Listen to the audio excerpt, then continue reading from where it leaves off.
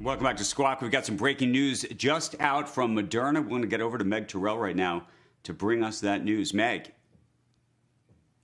Hi, Andrew. Some really major news from Moderna this morning. I think these are the first human data we're seeing on a COVID 19 vaccine program, uh, and it's positive news. Moderna saying in its phase one trial, um, it observed that after two doses, all patients in the trial developed antibodies to the virus. They observed what they call a dose dependent response, meaning the higher the dose, the more the immune reaction that the vaccine elicited. Uh, they also evaluated eight patients uh, whose data were available, showing that they created neutralizing antibodies, important for blocking the virus's ability to replicate. Uh, they said across the study, they observed antibody levels uh, were created by the vaccine that were similar to or higher uh, than in people who've recovered from COVID 19. Uh, people also going to be looking closely at safety, and the company saying it essentially looked safe and well tolerated in this study, and they're now pegging July to start the phase three trial.